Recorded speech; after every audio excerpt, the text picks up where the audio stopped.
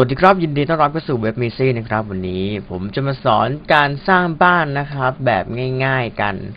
ซึ่งตัวยงตัวอย่างอะไรพวกนี้เนี่ยนะครับ ก็ไปหาจากเว็บไซต์ทั่วไปนะครับ ก็พอดีผมเสิร์ชว่าแปลนบ้านไทยนะครับ ก็มาเจอในเว็บนี้นะครับ เป็นเว็บครูบ้านนอกนะครับ ก็เห็นแล้วก็โอเคครับดูน่ารักดีแล้วก็ไม่ยากอะไรนะครับเขาก็มีรูปประกอบซึ่ง อืม ก็น่าจะถือว่าโอเคอะใช้ได้นะ ผมชอบบ้านหลังนี้ นี่หลังนี้ง่าย ๆนะครับ เอาไปใช้ในงานของเรา ก็ปั้นแป๊บเดียวก็เสร็จ ก็ save ไปนะครับ บันทึกรูปภาพเป็น save as อะไรก็แล้วแต่ หลังจากนั้นนะครับ เมื่อเราได้รูปมาแล้ว เราก็จะเอารูปที่ได้นี่นะครับ ไปใส่ Photoshop ก่อนเพื่อแบ่งภาพนี้เป็น 3 ภาพ แต่เราก็ไม่ต้องแปลกใจนะครับว่าถ้าเรา เอาภาพนี้ไปทำแล้วมันเกิดว่ามันไม่ตรงกันสัทีเดียว คือมีการเหลื่อมล้ำกันนิดๆหน่อยๆเราก็ต้องเข้าใจเพราะแบบเขาก็ไม่ได้มาเป๊ะๆอะไรกันขนาดนั้นนะครับ ผมก็จะเอารูปด้านข้างก่อน ถามว่าขนาดใหญ่ดีไหมนะครับ ภาพเซฟเป็นขนาดใหญ่ก็ผมก็พูดเลยว่าดี นะครับนะครับ อืมอ๋อก็เซฟ ว่า อืม อืมโอ้ยเยอะแยะไปหมด อะ Save Resource Image นะครับก็ชื่อว่า อันนี้เป็นละไซต์อืมเซฟเป็นเป็น P เอ่อ PNG ละกันชัดดีนะครับ ก็กดโอเค เซฟค่อนข้างจะนาน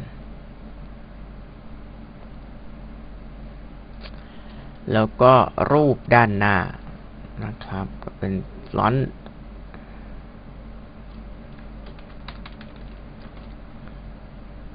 Control C Control N Control V บางเท่ากันไหมครับเนี่ย ไม่มั่นใจเหมือนกัน ก็ save ไปนะครับเป็น PNG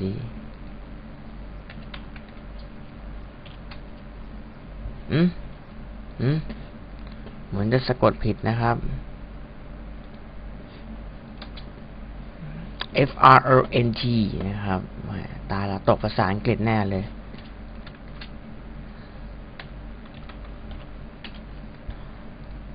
โอเคเอา PNG นะครับ อย่าลืม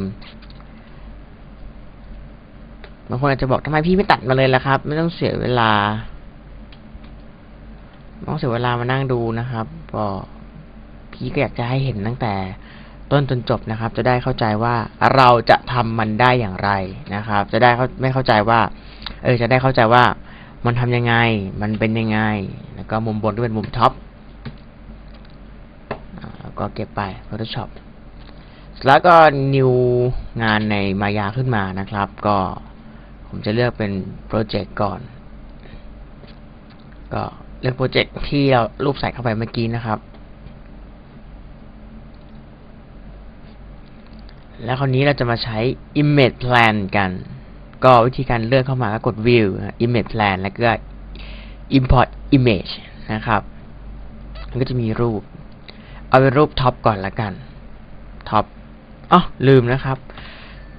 ข้อสำคัญอีกข้อหนึ่ง เราไม่ควรดึงรูปใส่ในมุม perspective เพราะมันจะเป็นอย่างนี้ นั่นแหละคือปัญหา แล้วผมก็จะสอนวิธีการลบมัน วิธีการลบมันนะครับ ก็ไปที่ Windows นะครับเอ่อ rendering hypershade มันจะอยู่ใน hypershade นะครับ ลบอย่างเงี้ย ลบไม่ออกนะครับ มันเป็นอะไรที่เหนียวแน่นหนึบมาก เราเลือกที่ camera แล้วก็จะมี image plan ก็คลิกที่ image plan แล้วกด delete ทิ้งไป นี่คือการลบ image plan นะครับ แล้วก็ไปมุมที่มุม top ก็เลือก view image plan import image plan แล้วก็เลือกมุม top นี้ก็ย่อมันนะครับ ย่อมัน วิธีการย่อมันนะครับ เราจะย่ออย่างนี้ได้ไหมไม่ได้นะครับ เราต้องไปย่อด้วยวิธีอื่น ต้องมาย่อตรง input นะครับ input แล้วก็เลือกเอ่อ y high อะไรพวกนี้นะครับ ในการย่อขยาย อ่า แล้วก็ไปที่มุม font นะครับ font ก็เลือก image plan image import เข้ามา font แล้วก็เป็นไซส์ครับ เดี๋ยวเรามาปรับกันอืมไซส์โอเค ครบละ font size เราก็ปรับ เดี๋ยวปรับเอาอันนี้ก่อนละกัน ปรับ ปรับให้มันได้ ครับ เออ หน้าบงหน้าบ้านมันตรงกันหน่อยอะไรกันหน่อย แล้วก็เซนเตอร์นะครับ ก็ปรับตรงนี้ไม่ได้นะครับ ข้างบนนี้ช่างมันเลยนะครับ ตรง translate สายอะไรพวกนี้อย่าไปยุ่งกับมัน เราปรับตรงใน image plan อย่างเดียวตรง center offset อะไรพวกนี้เอา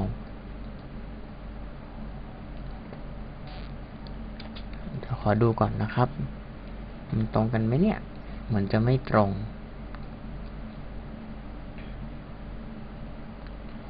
เราก็ต้องดูนะครับ แล้วก็ดูแกนด้วย อันนี้แกน z ได้ยัง อะ บ้านเล็กไปไหมตอนจะเล็กไป ก็ขยายขึ้นมานิดนึงอโอเคไหม ดูเนี่ยฮะ หัวท้าย เลื่อนหน่อยนึง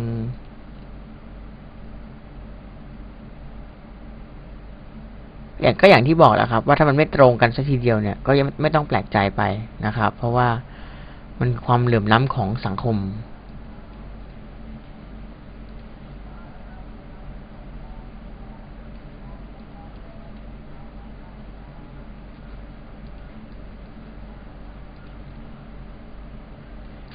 วางให้ปฏิฐาน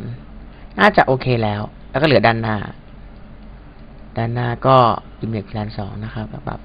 สเกลมันให้มันเท่าๆกัน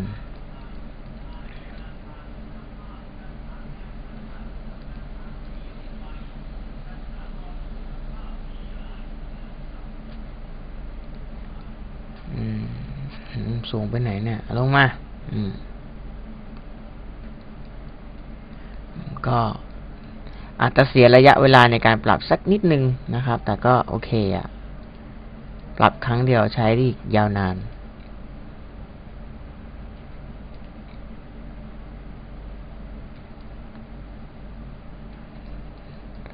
ปรับข้างๆได้ ข้างบนเสือกไม่ได้ ดันไม่ตรงกับข้างบนอีกกำจริง ๆ นะครับ ก็นั่นแหละครับ อย่างที่บอกแล้วครับ ออฟเซตนี่ไม่ช่วยอะไรเลยนะครับไซส์อยากไซส์ได้ไหม ไม่ได้ด้วย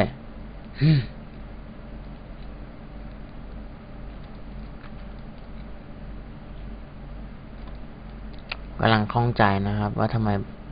บ้านสร้างยังไงเนี่ยฮะมายังทำไมไม่เท่ากัน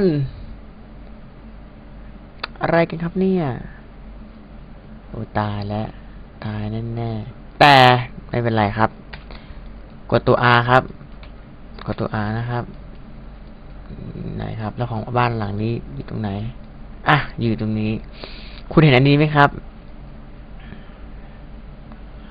นี่นะครับ พอช่วยเราได้อยู่ เราจะเลื่อนจากตรงนี้ก็ได้นะครับ แต่ว่ามันค่อนข้างจะเลื่อนยากนิดนึง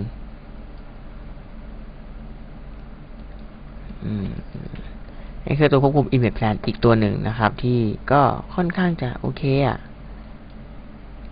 หรือเข้าใจผิดเองวะเนี่ยเอาว่าอิงอิงด้านข้างแล้วกัน top ไม่ช่างมัน เราเอาด้านข้างกับด้านเอ่อ front กับ side ก่อน ส่วนด้าน top นี่ช่างมันไม่เป็นไร หรือผมอาจจะเข้าใจผิดเองก็ได้นะครับ แต่เอาเป็นว่าเอาให้ฐานบ้านกับหลังคาบ้านสูงเท่ากันก่อนละกันตอนนี้นะครับ คือ วิกฤตระดับน้ำมันปาล์มเลยนะครับปึ๊บปั๊บปึ๊บปั๊บได้ยังได้แล้ว มันไม่ตรงกันนะแต่ไม่เป็นไรนะครับ ก็อย่างที่พูดแล้วพูดอีกแล้วครับ ว่ามันเป็นเรื่องปกตินะครับ ในการที่เราจะเอาแบบสักแบบมาแล้วมันจะเกิดปัญหาอย่างนี้คราวนี้เราก็ต้องล็อกมันนะครับ เลือกทั้งหมดแล้วก็ใส่ไปใน ใส่ไปใน เออเขาเรียกว่า layer แล้วก็ล็อกมันไว้นะครับ ให้เป็นตัว R เราจะได้จับต้องมันไม่ได้